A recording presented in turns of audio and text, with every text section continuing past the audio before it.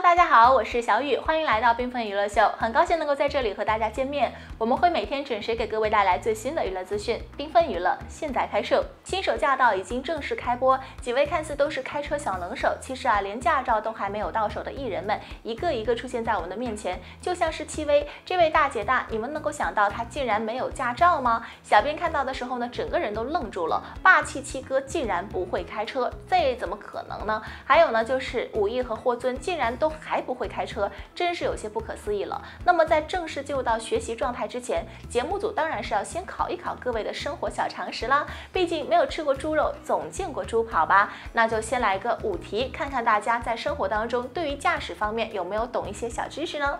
面对这突如其来的小测验，几位艺人当然是非常紧张了。毕竟呢是将自己的全部智商都献给观众看了呀，没答对岂不是很丢脸吗？一定要给自己争争气。于是就有了以下的这一幕。查完成绩之后的几个人呢，进入到了同一个微信群。霍尊和周深俩人这回可是丢脸丢大了，直接全军覆没，获得个零鸭蛋。看到霍尊的消息，七哥面露笑容，一个个的询问其他几位的成绩。也不知道七哥这是骄傲的笑呢，还是意味深长的笑呢？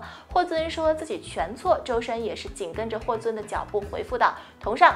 七哥表示自己呢也是一题儿都没对。于是呢，看到连七哥都没答对，大家伙就开启了安慰七哥的模式，让七哥的心情非常的愉悦。小鬼看到这儿可骄傲了，把脸那么一抬，傲娇 rapper 范儿上身了，里面大喊：“我居然是最高分！哎呦，我答对了两题，并且还放出了狠话，绝对没有人会超过两题。要是有，我就把这个箱子给吃了。”这一下七哥还能忍吗？立刻就将真实答案发出去。我对了四题，真的是生活总在锻炼人呐！大起大落的心情就跟爬山似的。小鬼哭哭拿起箱子呢，就是咔咔的一顿啃呐，可得小心你这大门牙呀，没了牙可是没办法帅气 rapper 了呀。其实呢，这一次节目邀请嘉宾的时候，大家呼声很高的就是周深和吴亦了，这两个人可都是胆小鬼，就是因为害怕，所以才不敢去学车。这下可好了，直接硬拉上战场。其实刚开始的时候，节目组还邀请过周扬青，没想到吧，周扬青也不会开车，但是他给拒绝了，并且发文说道自己学呢就已经很难了，还要有全国人民看着我学，那就更。学不会了。之后呢，他还跟粉丝表示，自己要是在节目中学不会啊，大家不会觉得他可爱，反而会觉得他是个智障。还是逻辑清晰的周扬青理性呀。另外一位则是蔡徐坤了，粉丝们也希望坤坤赶紧的趁这个机会把车给学了。但是坤坤方呢，并没有接受邀请，一定是行程安排不过来。嗯。呼声最高的武艺也是人傻的不行啊！到了现场，表示自己完全不知道考试要带身份证，并且在科目一的时候也是咔咔一顿操作，最后得分八十五，真是操作了个寂寞。没事儿，时间再久啊，咱们也必须等到你们都拿到驾照为止。周深作为其中之一的嘉宾，在第一期的表现就非常亮眼。当嘉宾们遇到科目一当中的一道交通标志的题的时候，大家纷纷都被这道题给难住了。毕竟大家现在还才刚刚报名，对于驾驶中的知识了解的也不多，遇到一些比较冷门的题回答不上来呢，也是情有可原的。就在大家都回答不上来，节目快要冷场的时候，周深立马接了一句神梗：“这是禁止孔雀开屏吗？”周深这个回答让本来就比较严肃紧张的答题环节瞬间有了综艺活泼搞笑的氛围。张绍刚作为节目主持人。在很多节目中的控场能力也是一流的，不过面对于周深的接着这个梗啊，连张绍刚老师都有点交炸不住了，一边憋笑一边给大家解释，在交通规则当中一定不会出现禁止孔雀开屏。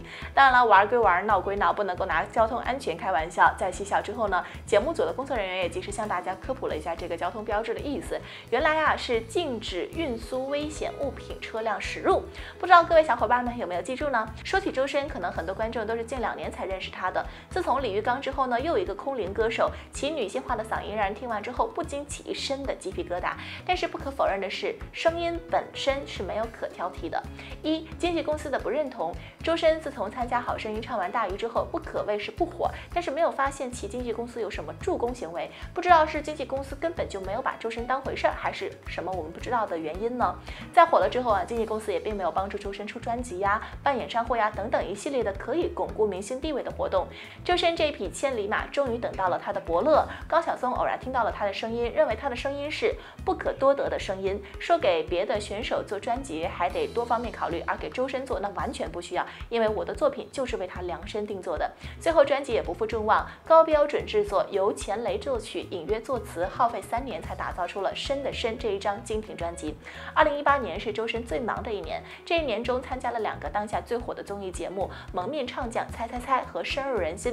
在如此高水准的音乐节目中，经纪公司不好好的安排周深好好演绎，如何在节目当中出彩？不安排好的资源为周深的演唱更上一层，反而还安排他出演好多商业，这真是没有人性啊！挣钱也不能这样啊！小编只能够从人道主义上面谴责谴责了。而其他的经纪公司呢，不是忙着请大咖来帮忙做歌曲，就是忙着全国巡演呐，做专辑呀，参加其他的综艺啊，露个脸呐，而这些周深都没有。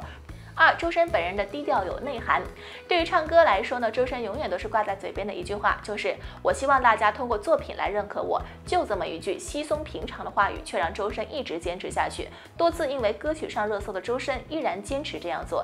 对于做人而言，周深永远都是礼貌优先，总是微笑着面对一切，不管什么时候，总是九十度鞠躬致谢。就算是一些幕后的不知名的工作人员，周深也总是诚挚的感谢。就算去参加商演也是一样。所以周深的口。口碑还是不错的。周深有点佛系看待自己的星途，属于那种红不红看命的佛系，只顾唱好自己的歌，从来都不经营，没有宣传，没有演唱会，没有预告等等。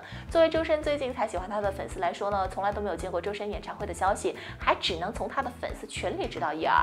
周深的实力是高于他的人气的，而他的演唱会的规模又不能跟他的实力相比。周深的巡演每一次只有一两千人，对于歌手来说，这真的是宁缺毋滥啊！每次买票都得。数秒，然后呢，简直是能够跟这个周杰伦天王的那时候相比了。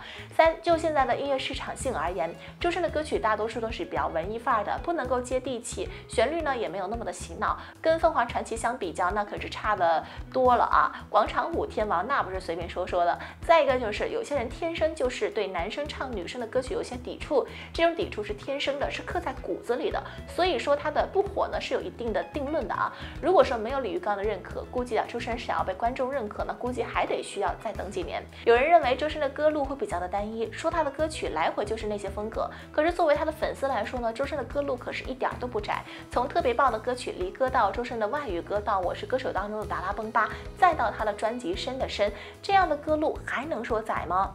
是金子总会发光的，周深的光芒可是钻石的光芒，可能沉淀的时间更长而已。希望你的经纪公司到期之后呢，选择一个尊重你的公司来合作吧。吃瓜不停，娱乐不断，感谢大家关注缤纷娱乐秀。如果您喜欢我们的频道，请给出您宝贵的赞，并且记得订阅我们，同时不要忘记了点亮订阅右边的小铃铛，这样就可以在第一时间收到我们的频道内容了。我们下期节目再见吧，拜拜。